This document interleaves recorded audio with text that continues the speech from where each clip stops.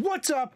Welcome to the channel. This is the home to lamest taste. This is the Vinyl Casket, all one word. Instagram, Twitch, YouTube.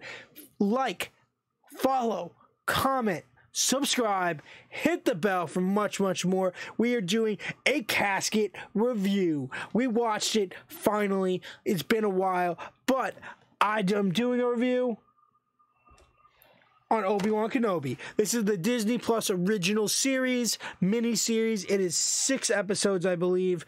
Um, it is premiered May 27th of 2022. So I'm I'm late. I'm late on it. There's reasons though. I'm wearing my fanboy shirt. I'm ready to talk about it. Um, me and my wife, my wife had never really d- deep dived into Star Wars. So we've taken our time reacquainting her and getting her adjusted and trying to figure the best ways to dive into everything. So we finally got into Obi-Wan. We watched the series, six episodes, and I gotta tell you, it was beautiful. Uh, I think uh, Ewan McGregor did a stellar job of reprising his role of Obi Wan, uh, aging himself into the role between the end of episode three and the beginning of episode six. Uh, there's a long time between those, but we see Luke and Leia as kids here, uh, probably eight, eight to nine years old. Um, and the plot here is that Obi Wan finds out that Anakin is Darth Vader, and Darth Vader introduces himself with the Inquisitors and kind of like furs his way through. Um, and they go at each other, and it's really cool to see this be a battle, knowing the tension that com- that later comes behind, comes between them. In episode, I said episode six. In episode four, uh, between episode four and three. So this is like their battle, the first battle as him fully being um not Anakin. And it's it lays up this groundwork for something that we didn't realize going into it. And it makes things make sense and it's really good. Um Hayden Christensen reprised his role of episode three Anakin, as well as portraying Darth Vader here, especially seeing where the helmet gets smashed through and you don't you hear his voice through the respirator. And I personally thought that that was really emotional and really well thought out and a great delivery. And I know a lot of people didn't like Hayden Christensen's performance in episodes two and three, but I feel like that vocal delivery that he gave led into the way the original Darth Vader spoke, and I think it makes sense now. Um, and I like it now.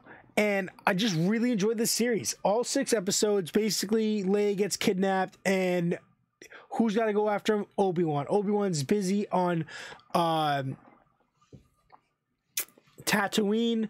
Uh, watching Luke, but he goes on this adventure, gets involved with a bunch of Inquisitors and Darth Vader.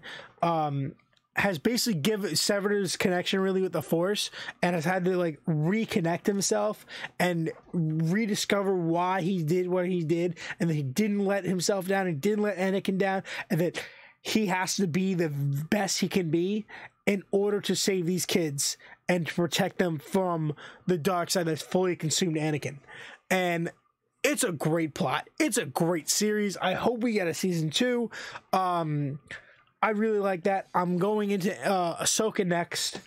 Um, I really am pumped on this, and I think this is great. Obviously, I feel like all these series have kind of loopholes, not loopholes, but like big gapping holes in like why did this person this person existed why didn't they contact with this person this and that you know what i'm saying it kind of doesn't make sense but it kind of does um my biggest gripe here and i'll just say it because technically speaking i think this is well shot. I thought the graphics were great. I thought the cgi was great. Action was great. Coordination delivery acting everything here phenomenal.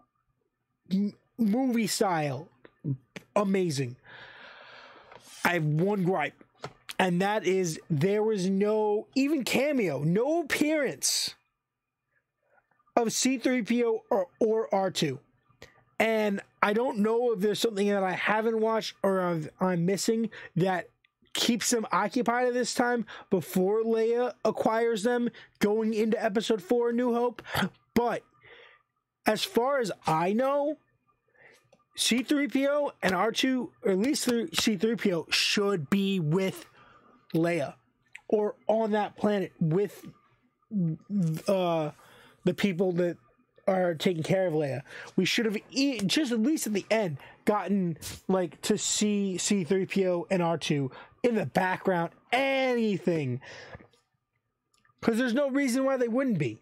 And they're in all nine movies. They are the only characters that are in all nine movies as basically main roles.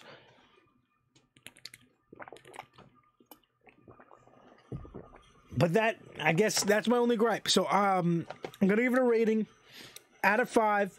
We're gonna do a four point six, and it's losing those four points because of the major disaster, which is no reference to uh, R2 or C3PO. I thought this was a perfect opportunity to keep them up as the most featured characters in this series, which is Star Wars, and it they let they let me down.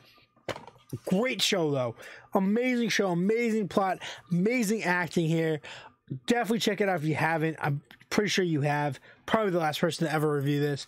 But Thank you guys so much. Check out the channel. This is the Vinyl Casket, home to the lamest taste. You can check me out on Instagram, Twitch, and YouTube, all at the Vinyl Casket, one word, where you can subscribe, like, and comment. Hit the bell for much, much more.